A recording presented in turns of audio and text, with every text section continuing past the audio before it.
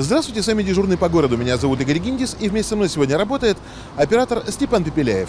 Мы колесим по Пермским дворам и улицам на комфортабельном хэтчбеке Ford Focus, любезно предоставленном автоцентром Ford компании X-Auto на Спешилова 107 в Камской долине. И начнем с хорошей новости. Чтобы не сглазить, в Перми, кажется, начинается лето. Сегодня по прогнозу плюс 18-20. Но если вы существенно замерзли за прошедшие пару месяцев, то добро пожаловать на остановку Площадь Дружбы на улице Крупской.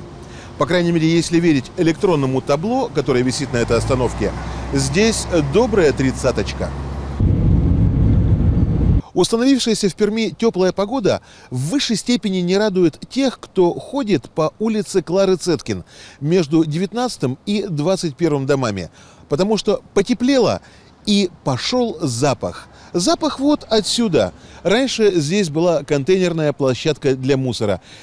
Баки вывезли, мусор по-прежнему валят сюда.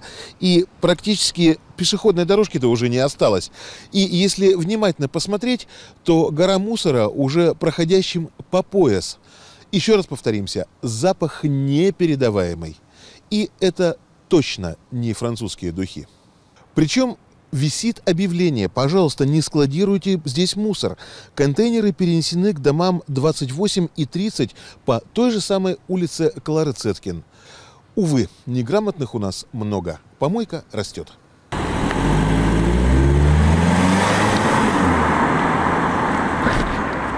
Вы приезжайте на Курчатова 1, написали нам жители этого дома, и снимите наш дворовой проезд. У нас просто нет дороги ни пройти, ни проехать. Но на первый взгляд можно, давайте пробовать. Поехали.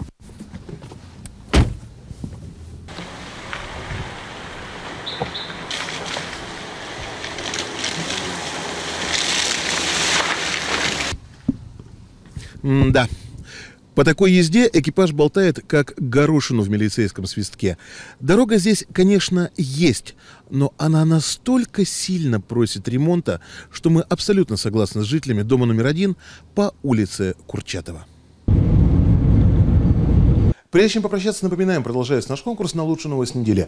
Автор самого интересного сообщения получит вот эту вот карту любимого покупателя на одну тысячу рублей от магазина «Азбука», улица Ленина, 49. «Азбука» – это единственный в Перми специализированный магазин учебной и художественной литературы и констоваров. Выбор богатейший, вы запросто сможете подготовить своего ребенка к школе. На этом заканчивают свою работу Игорь Гиндис и Степан Пепеляев. Не забывайте телефон нашей информационно-справочной службы и сайт телекомпании «Рифей» в интернете. Пишите и звоните. Завтра увидимся. На сегодня все. Спасибо, удачи. Пока.